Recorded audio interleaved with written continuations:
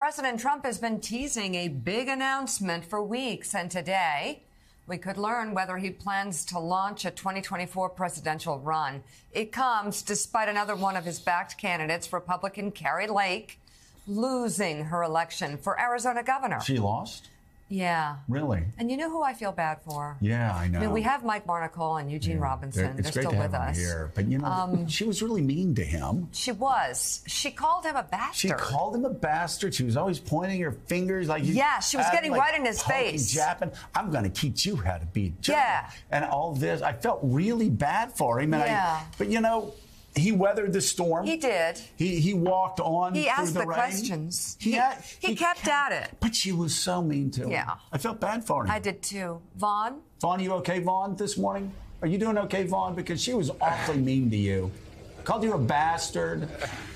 Said that, like, you, I think you were bad, or maybe she said we were bad for Or American evil. democracy. Evil. I don't know. It She's was- always in your face. It had to be a.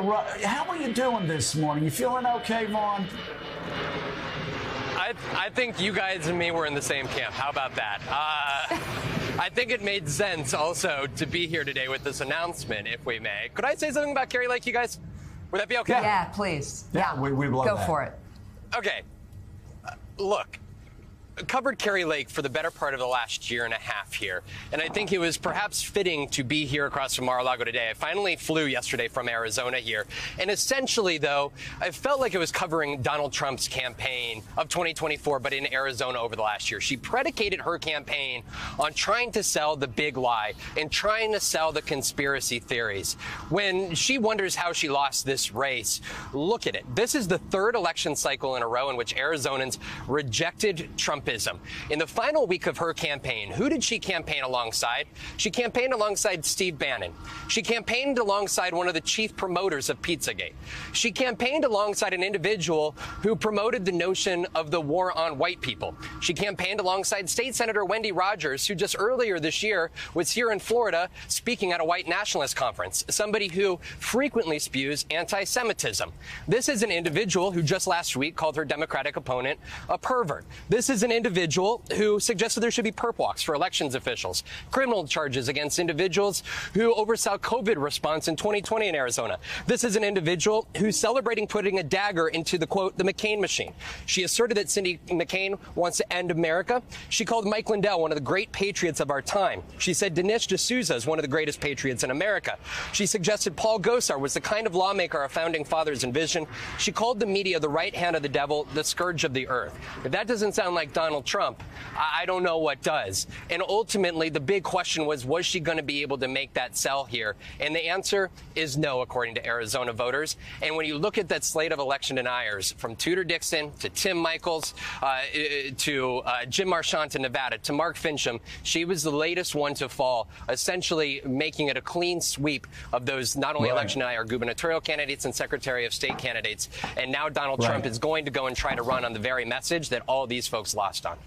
So Vaughn, uh, le- le- why don't you tell tell us because you were out there?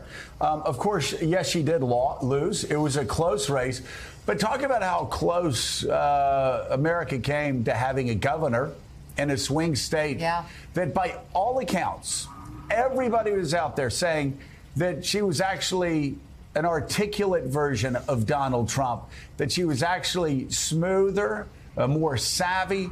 Uh, she knew how to work rooms. She she campaigned all over the place. A lot of Democrats that came back came back and were were very scared uh, of of this woman. In a way, they had not been scared of of any political candidate I've seen. Uh, uh, since Donald Trump's emergence in 2015, I mean, they they thought she was going to win and that she was going to be the heir apparent to Donald Trump.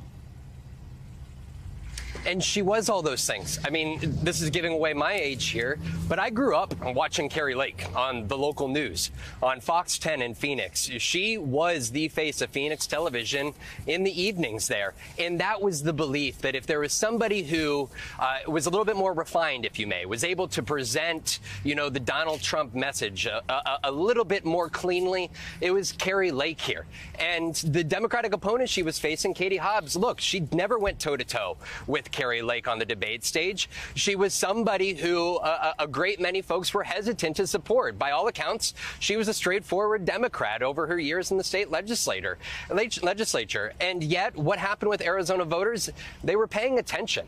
And guess what? It was a, a local leader, Kathy Petsas is her name. She was a local legislative district chairwoman.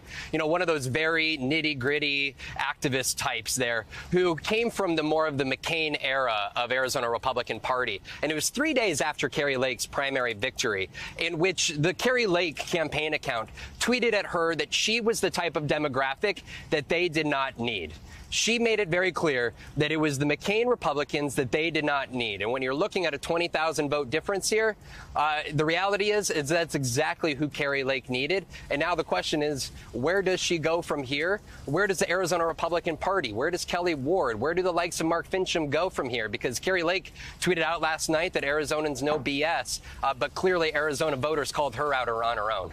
She actually said four days before Election Day, if there are any McCain Republicans in the room, get the hell out, calling John McCain a loser in the state of Arizona. Probably not a great decision from a campaign. Let me ask you about why you're there in Mar-a-Lago. That announcement expected tonight that Donald Trump will announce his candidacy again to be president of the United States.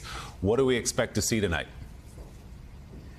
Right. Both things I think can be true at the same time. One, so many of these Trump endorsed candidates, guys, right, they lost. However, at the same time, when you're looking at the Republican Party that is going to be serving in this next Congress, but also in governor seats around the country, you no longer have the likes of Larry Hogan, Asa Hutchinson, Doug Ducey, Liz Cheney, Adam Kinzinger, Tom Rice. Suddenly, you are looking at a Republican Party that is much more in the mold of Donald Trump. That is the backdrop to which he sees himself announcing his 2024 presidential run tonight. He has got a smaller campaign operation that will be behind him. You noted that super PAC with nearly $100 million of money behind him. He is confident that he will be able to undercut the candidacies of Ron DeSantis. You've already seen him go on the tack against Glenn Youngkin. And when you're looking at who else would be able to uh, haul in the resources necessary to challenge him, uh, he's got a point to be made. But the question is, is this going to be a campaign that is focused on the grievances? Because if you look at his tr- Truth Social account from the last 24 hours, he's posted 64 different memes, heavily focused on 2020, QAnon themes, the idea that he is going to arise here and take control back. The question is, uh, voters around the country here in these midterms already rejected the premise of what he expected to be his 2024 campaign. I was at rallies across the country with him, and you saw the Republican candidates around the country go and willingly stand on the stage with him. And now the question is here tonight, how does he make this forward looking? Is he able to do so? And is he able to cut a contrast here that could somehow resonate with Republican voters who are frankly now perhaps a little bit more skeptical about his own political influence here? NBC's Vaughn Hillyard, thank you so much for your reporting. We really appreciate it. We'll talk to you again soon.